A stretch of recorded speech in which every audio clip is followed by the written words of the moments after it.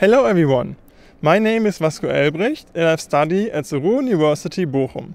I'm writing my master thesis at the Department of Animal Ecology, Evolution and Biodiversity and my colleagues and me looked at the stonefly Dinocras cephalotes and its population structure in the Sauerland region. In the next three minutes we would like to show you our results and why they matter. Human activity has dramatically changed and fragmented our aquatic landscapes.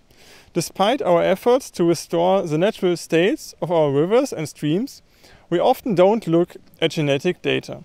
Small and isolated populations often have very low genetic diversity and therefore they have problems to respond and to adapt to environmental changes. Dinocras cephalotes is an excellent indicator of good water quality. You will find it in cold, fast-running streams. We used molecular markers to find isolated populations and also to develop models for the dispersal abilities of this species. After sample collection and identification, we used the standard SALT protocol to extract the DNA. We looked at two molecular markers, the mitochondrial barcoding gene CO1 and the nuclear wingless gene. The sequences were processed in the computer and checked with different statistical methods. Here are our results. You see here the minimum spanning network for the marker CO1. We found two haplotype groups which were quite diverse. The two groups showed a sequence difference of 5%.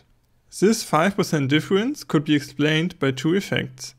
Populations could have been isolated in a glaciation event but then had secondary contact and could still reproduce. The two haplotype groups could also be the result of a speciation event in the past.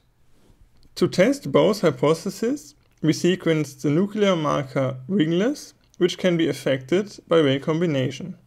As samples from both CO1 haplotype groups share the same wingless haplotype, we can conclude that individuals from both haplotype groups are interbreeding. Therefore, Dinocras cephalotes is a valid species.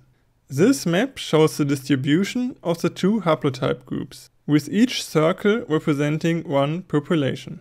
By calculating FST values between populations, we were not able to find single isolated populations. However, an AMOVA test revealed that there is a very weak difference in variability between populations in the east and west. However, most of the variability is shared across all populations. In conclusion, we can say that Dinocras cephalotes has good dispersal abilities and populations can interbreed. However, this is not the end of our project. Over the next months, we're going to use some microsatellite markers that we have developed to verify our results. We would also like to have some additional Dinocras cephalotes samples from across Europe, so if you have some, we would appreciate if you get in touch with us. Also, I want to thank our project partners, and I want to thank you for listening to this video.